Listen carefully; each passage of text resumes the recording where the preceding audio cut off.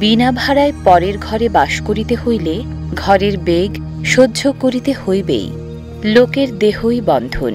এই দেহকেই বাসনাময় বলিয়া থাকে। এই দেহকে মুক্ত করিতে চেষ্টা যাহা করিতে হয়, তাহা কেবল ভগবানের স্মরণ বই আর কিছুই নয় সাধ্য সাধনে নিষ্কৃতি হয় না। অতএব সর্বদাই বাসনা পূর্ণের চেষ্টা না করিয়া তাহাদের দৌরাত্ম যথাসম্ভব ভোগের ভোগ করিতে হয়। প্রারব্ধ বশতই লোকে ভোগ হইয়া থাকে। ভাগ্য অনুসারে সুস্থ অসুস্থ দায়ে দায়ী হইতে হয়। প্রারব্ধই তাহার কারণ। আরোগ্য ও অরোগ তাহা হইতেই হইয়া থাকে। নচেত জীবের শক্তি নাই।